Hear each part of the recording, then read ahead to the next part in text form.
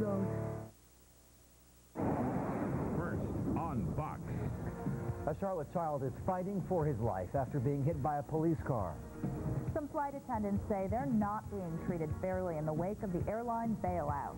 And the war on terrorism could mean a new war on drugs. Charlotte's Fox 18 News at 10 starts now.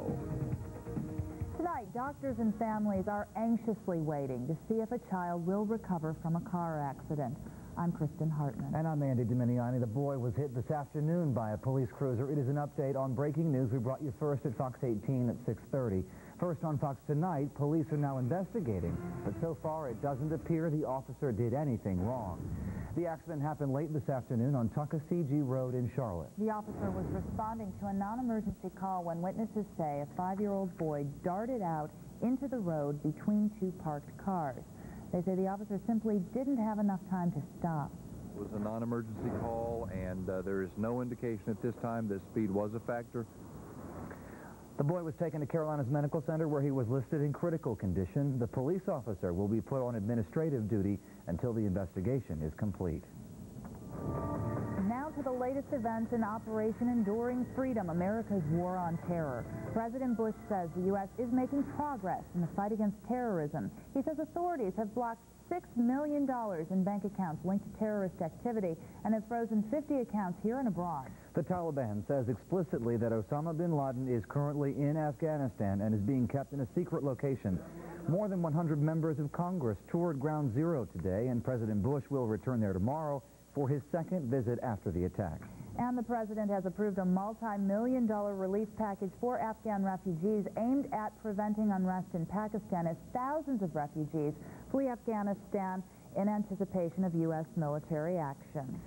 Here at home, the Charlotte-Mecklenburg Police Department made it very clear tonight they won't tolerate racial profiling. In front of the Charlotte City Council, they put the policy in writing. The draft was designed to give officers clear guidance on when to intervene in someone's life. Since the terrorist attack on September 11th, racial profiling has taken on new meaning. Chief Stevens says in many ways police have to act like the FBI and they detain potential terrorists. It's about information, not race. All of that adds up uh, to information that gives them the ability to legally intervene in someone's life. And it's the same thing with a police officer.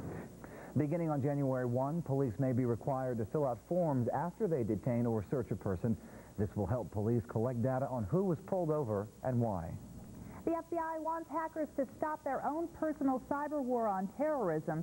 Some call it an EHOD.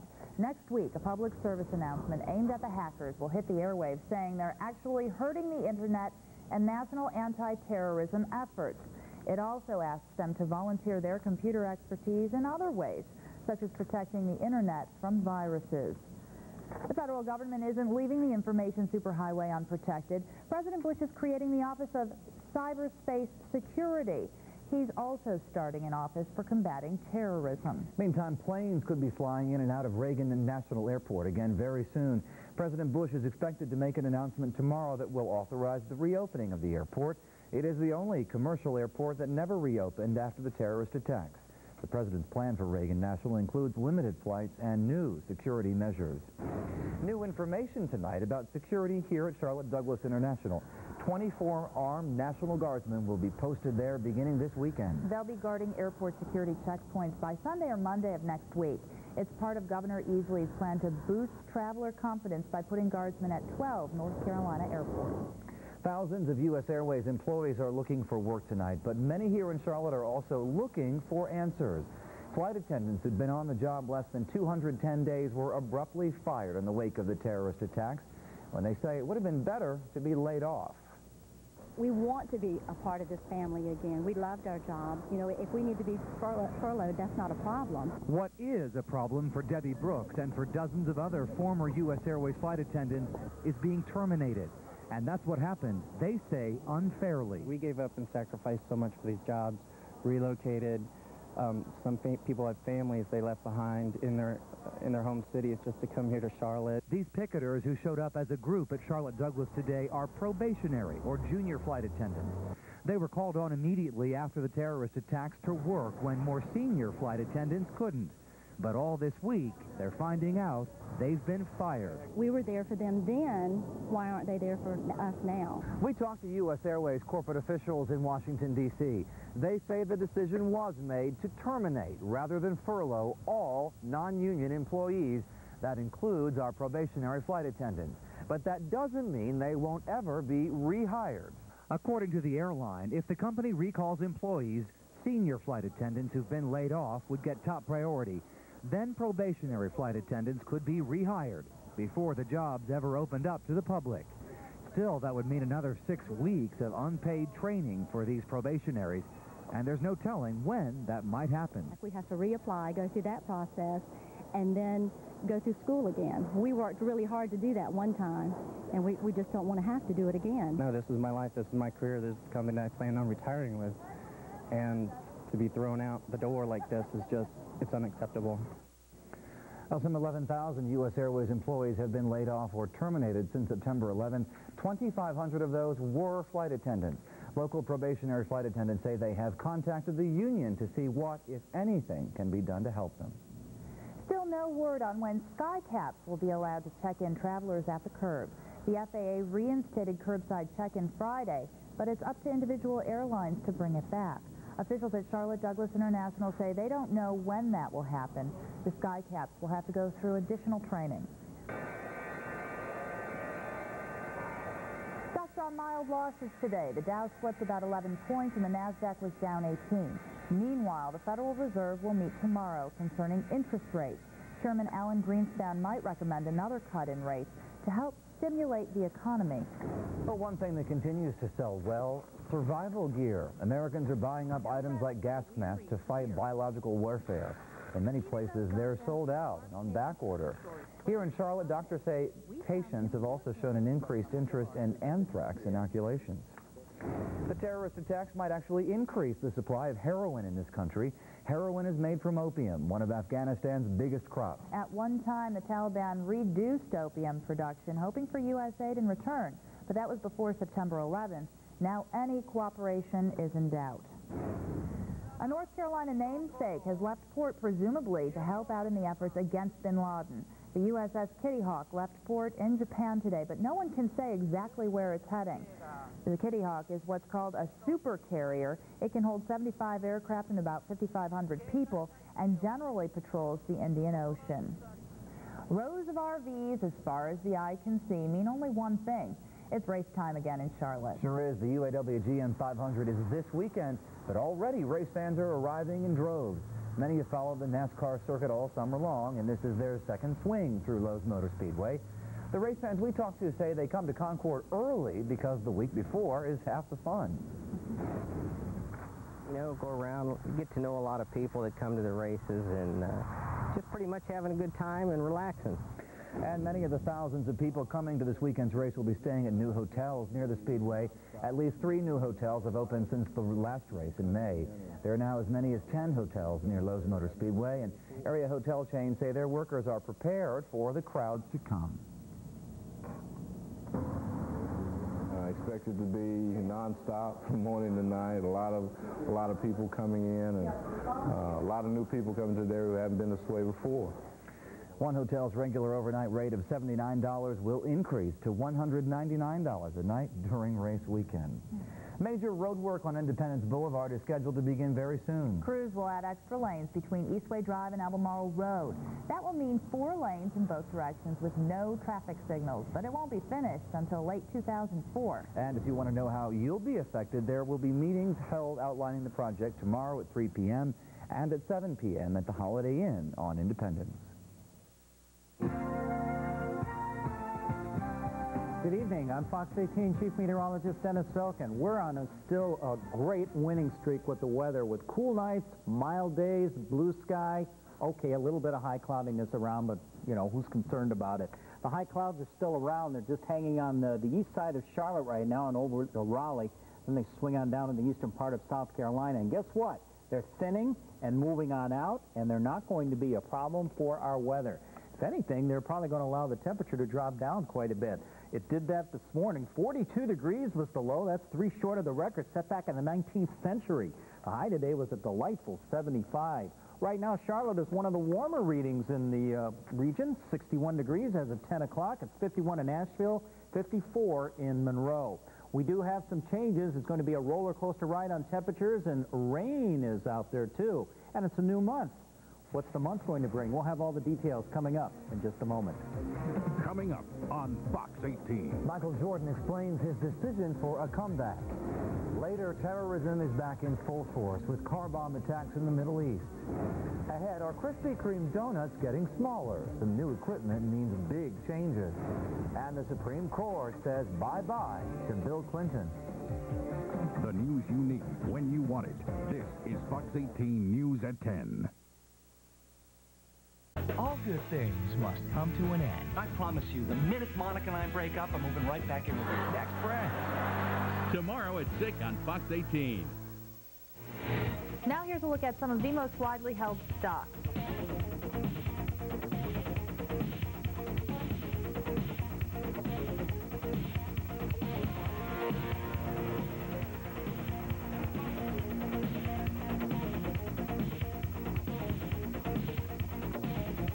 The Stock Watch is sponsored by Cameron Harris Insurance. You can take life as it comes, or you can grab life by the horns. Dodge.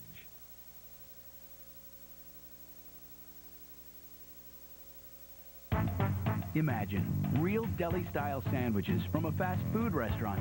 Arby's Market Fresh Sandwiches. They'll change the way you think about fast food.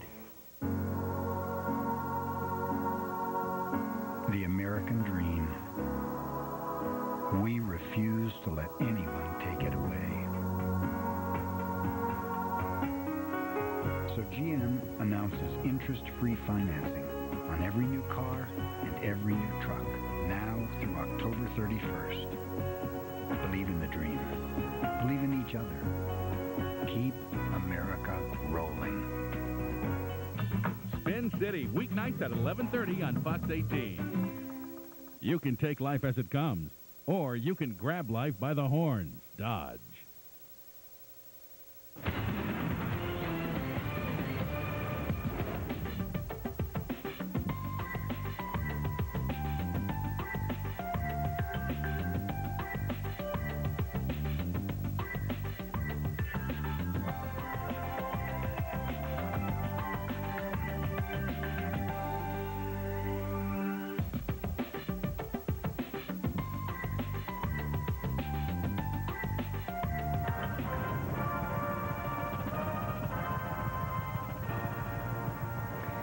North Carolina native General Henry Shelton has officially stepped down from his post as the nation's top military commander. Today, the chairman of the Joint Chiefs of Staff marks the end of his 38-year military career with a retirement ceremony in Fort Myer, Virginia.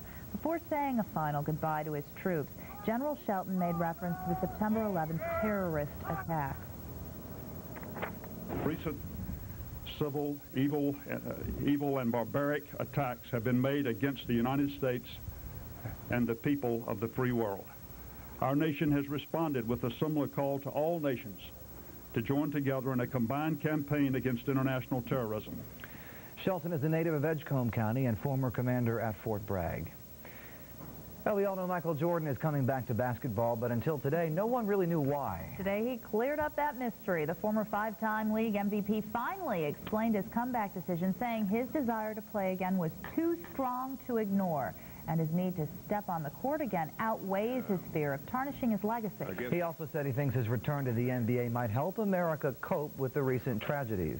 Um, I don't think uh, my job is more important than all the firemen and policemen's job each and every day. Uh, I, don't, I don't think I'm that backwards to believe that. But I think it is a place for relaxation, and I think that's what you know my responsibility is going to be. Hopefully, I can provide a relaxation for for many of us so that it can help us deal with a lot of the, social issues and some of the issues that we're dealing with. Uh, uh, but at the end of the day, you know, you know, I know I know my place, you know, and I understand that I can help, and this is my way of helping. And later in sports, Paul will have details on when and where Jordan starts practice again. Brightly decorated T-shirts illustrate a somber message at UNC Charlotte. October is Domestic Violence Awareness Month. The T-shirts were designed by victims and are part of a week of educational events at the school. It includes a self-defense workshop and a candlelight vigil. For more information, you can call 704-687-2375. Well, the donuts aren't any smaller, but the stores may soon be. Krispy Kreme Donuts is testing a new machine that will open up new markets in smaller towns. Company officials say the new machine is smaller than the current conveyor process. And that means you may soon be able to find those red hot donut signs at malls, sports stadiums, or airports, maybe even convenient or grocery stores. Hmm, how about that? Mm -hmm. Big changes. mm -hmm. While much of the world focuses on Afghanistan, tonight Fox Watch on the World turns to new violence in the disputed region of Kashmir between Pakistan and India. At least 13 people have died and many were wounded in a car bomb blast outside the State Assembly building. No one has claimed responsibility in the attack, although Muslim rebels fighting Indian rule have hit the assembly in the past. And in Jerusalem, a large car bomb packed with bullets exploded in a residential area. No one was hurt, but it did set several nearby cars on fire. The explosion comes as Israel and the Palestinians try to enforce a ceasefire. The Supreme Court has turned down Terry Nichols' bid for a new trial. Nichols, of course, was convicted as a conspirator in the Oklahoma City bombing. He had argued that the FBI's failure to turn over thousands of pages of information in the case means he should get a new trial. The High Court also banned Bill Clinton from practicing law before them, and he's got 40 days to say why the action shouldn't be permanent. Clinton was among 18 lawyers who got that discipline on the first day of the court's new term. The justices didn't say why Clinton was banned. Actress Sharon Stone is in the hospital in San Francisco suffering from severe headaches. She went to the emergency room Saturday. She's being treated for bleeding on the brain from a tiny aneurysm. Her treatment will be rest. Fox Watch on Your Health tonight begins with new rules for children when they ride their bikes. Today is the first day that kids under the age of 16 legally have to wear a helmet while they ride. If they don't, their parents could be punished. They'll be cited and fined up to $10. The new state law piggybacks a similar law already in effect in Mecklenburg County. A new treatment for Parkinson's disease is being highlighted in the recent issue of the New England Journal of Medicine. It's a pacemaker-type device known as a deep brain stimulator. It works by giving out a stream of electric impulses, blocking the brain signals that cause symptoms. Some people in the Charlotte area are getting hope from the new device. I couldn't use the arm for anything. I couldn't use my hand or arm for anything. I couldn't do anything with it. But uh, now that he's giving back my use of my hand, I play golf, I write, and do about anything I want to do now. Now, those who have Parkinson's disease have tremors, slowness of movement, rigidity, and other muscle problems. Still ahead on Fox 18 News at 10, brick by brick, two young boys are rebuilding or building their own symbol of American resolve.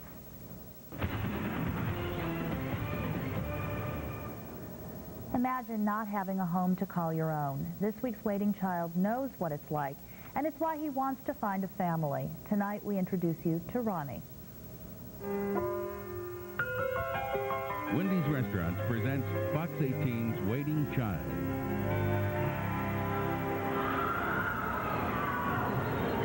The 13-year-old behind the bumper car wheel wants to share his love for cars, fishing, and football with permanent parents. Ronnie wants a home. I've been in foster care since 94. I'm just ready for a family. I think the most important thing to him is permanent, is a family who's not going to give up on him, who's going to stick with him through the good times and the bad times. People who know Ronnie say anyone who adopts him will get back as much as they give. He loves to laugh. Um, great sense of humor. Also, he's he's very outgoing. He's very affectionate. Um, he really likes to give attention. And she says he likes school. Um, he's a straight-A student. He does very well in school. Um, he knows that he needs somebody to help him every night with his homework, and he wants somebody who's going to be dedicated with him to help him through that. All right, he hit a 57. Ronnie hopes to go to college and has an idea about what he wants to be when he grows up. I guess I'd like to be a firefighter. Why would you like to be a firefighter? Because I get to save lives. They're all goals he'd like to work for with a family's backing. To learn more about Ronnie or any other children available for adoption, you can go to our website at www.fox18wccb.com or call the Children's Home Society. That number is 1-800-862-1898.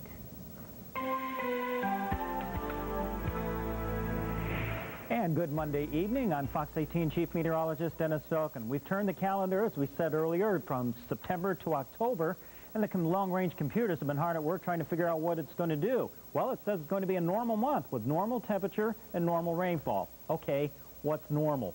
In the temperature department, the average high starts out at 77 and drops to 67 by the end of the month, and the low temperature department, 57 at the beginning of the month, 46 by the end of the month. Yeah, it definitely cools down here in the Charlotte area. In the rainfall department, three and a third inches is pretty common, and yes, the rumors are true. It has been known to snow in the month of October, even in Charlotte, but just a trace is averaged out over the last 30 years. No sign of rain or snow or anything like that, but there is a little uh, sign of some fog. Early morning fog is possible with mostly clear skies otherwise. Low temperatures still a chilly 46 degrees, but this should be the last chilly night for a couple of nights. Right now, beautifully clear skies out there. It's been a pleasant evening. Hope you had a chance to enjoy it. Our 10 o'clock temperature is sitting at 61 degrees. Trust me on that. It's 61 degrees, and the winds are practically calm, so we're set up for ideal conditions for some fog to form. Well, here's the weather map, and we had some high clouds around the, the area for today, and that was this little line of low pressure sneaking out of the mountains. There's the clouds moving quickly to the southeast, not enough to block the sun, uh, sun at all, but just enough to notice up in the sky. Other than that, cool and dry air has been coming in from the north, keeping the dew point low and just darn nice weather. And it's all coming on the front end of this high pressure system. But now on the back end of the high, a lot warmer air is being transported to the north. Look at the highs tomorrow. 80s getting all the way up into the northern plains, even some 90s. And all this warm air is definitely moving on to the east. But the only way it's going to get here is for our winds to turn from the north to the west. And by golly, it's going to do that. Here's how. The high pressure back in the plains is going to move straight east. That forces the winds to turn more to the west. It'll come through the mountains, which will compress the air and heat it up. So our cool temperatures that we've been experiencing will begin warming up for a few days. So for tomorrow, lots of sun, warmer temperatures, high of about 80, and we haven't seen that in well over a week. Wind to be out of the west at 6 to 12 miles per hour. Looks like we'll inch up a degree or two over the next couple of days and then start cooling down and maybe some rain showers moving in for Friday, Saturday, and possibly a part of Sunday. After that, a sharp cold front comes through and we're going to nosedive early next week. So we'll keep you updated. In the meantime, you are now up to date with the latest on the weather. Fox 18 News at 10 continues. Two California boys have found a way to help the victims of the September 11th attacks by using one of America's favorite toys. They're building a kid-sized model of the Statue of Liberty out of Lego building blocks. They got sponsors for each of the 2,845 bricks they will use in the model. All the money raised will benefit the families of police officers and firefighters killed in the attack. A lot of work ahead of them. They appear to be well on their way, though. great idea, mm -hmm. too. well, the Panthers did lose more than a game yesterday. You know, they also lost one of their top players. And what about the field? After the beating it took yesterday, can the Panthers get it ready in time for the New Orleans game? Follows next with Fox 18 Sports.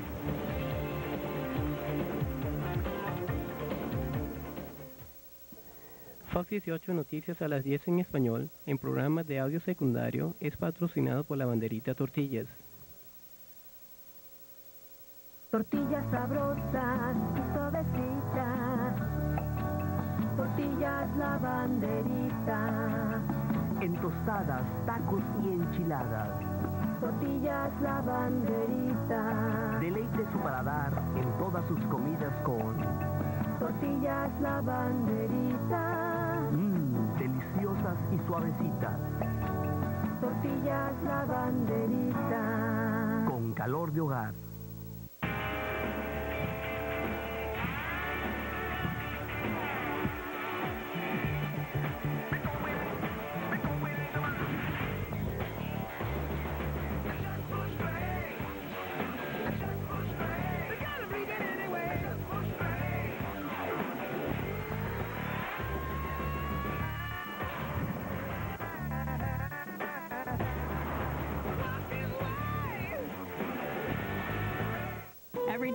Pride. There's never a dull moment working here. I always had heard that Walmart was a good company to work for. Our number one goal is to keep our customers happy. That's 100% of your job. We laugh. We laugh at Walmart. We have fun.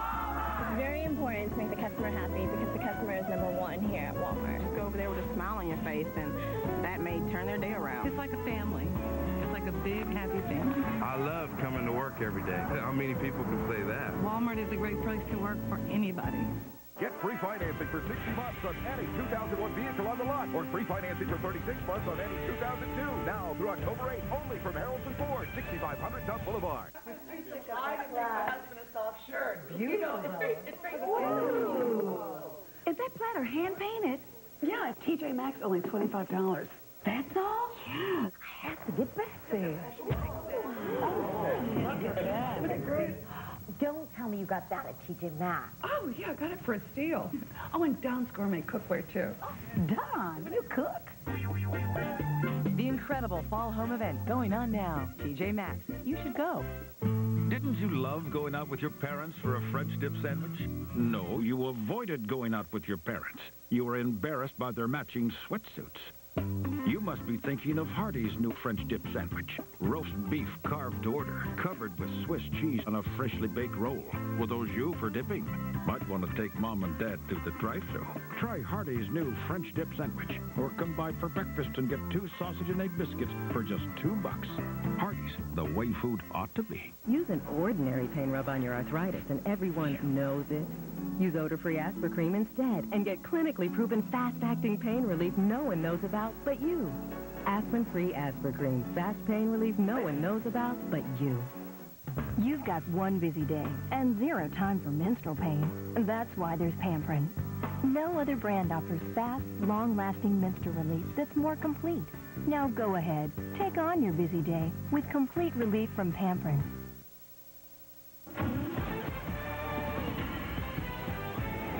Welcome back. I'm Paul Butler, Fox 18 Sports. All right, we all know how bad the Panthers field looked during yesterday's game with Green Bay. I mean, it was ridiculous, to say the least, the way that field came apart. So the question today for Panthers head coach George Seifert was, did the field have anything to do with linebacker Dan Morgan breaking a bone in his left leg?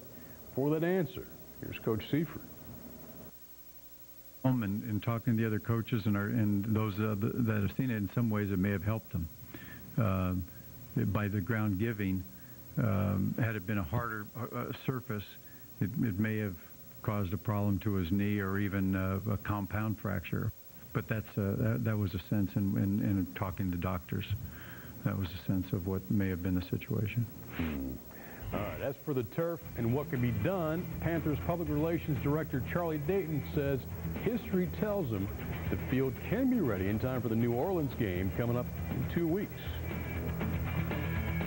Late in the season, a number of teams have to reside uh, when they have bad weather late in the year and the field gets chewed up, and then they'll uh, reside and be able to play not only with uh, two weeks in between, but with one week in between. Folks, let's hope that field is ready for the New Orleans Saints game on October the 4th. All right.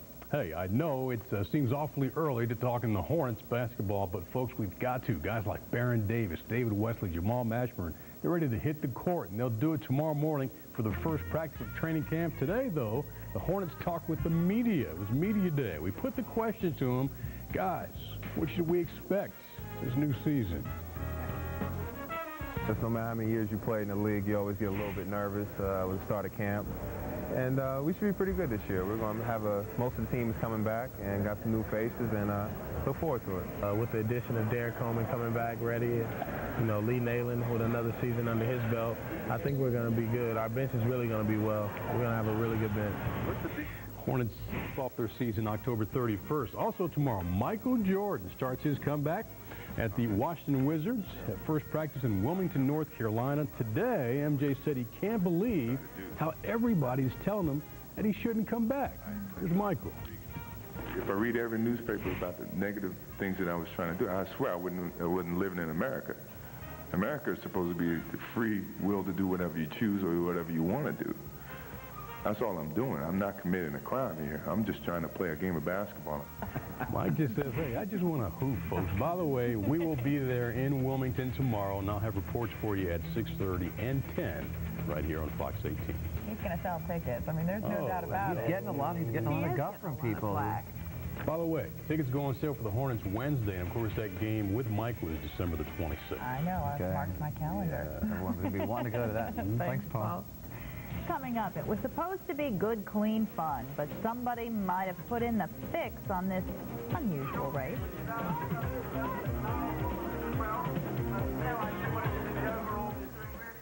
Saturday, October 6th, it's a classic Charlotte Showdown, the Little Trees 300. This race is always one of Lowe's Motor Speedway's most exciting events. Tickets start as low as $16 to see Busch Series drivers battle it out with Winston Cup races on their home track. Who will have the best strategy, the right setup, a little luck, and the heaviest foot to end up in victory lane? Great seats are still available to this classic Charlotte Showdown. To reserve the best seats, call or go online today. The Little Trees 300, October 6th at Lowe's Motor Speedway. Don't miss it. Where would you think a sandwich like this would come from? A nice deli. Like a deli? Mm-hmm. From a deli down right around the corner here. This is an Arby's Market Fresh sandwich. So good, you'll think it's from a deli. The turkey is delicious. I like the dressing. You can tell it's from a deli. Not from a deli. Fast food. Yeah, right. It doesn't taste like fast food. Try one of Arby's Market Fresh sandwiches. Arby's? Yeah. I thought they just did roast beef. Well, you thought wrong, mister. It'll change the way you think about fast food. Change my mind. Demetrius and Kenny are friends with something in common. Each of them is looking for an adoptive family that will give them a loving and nurturing home. If you'd be interested in adopting either of the teenagers, call Waiting Child, sponsored by Wendy's. At some place.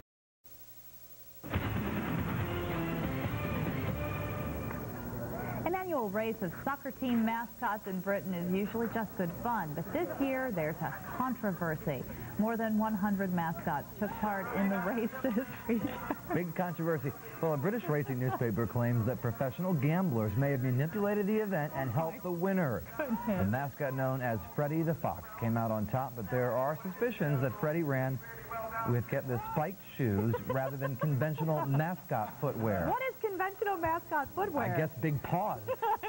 now race officials are checking to see if Freddie won the race fair and square. Looks like he outfoxed them. Well, he look at look, look at them. They're all way behind him. I know. He's got cleats oh, that guy's, on. oh my goodness, what happened to him? More of the mascots. It's getting ugly, folks. Thanks for choosing Fox 18 as a 10. I'm Andy Dominiani. And I'm Kristen Hartman. Have a great night. Good night.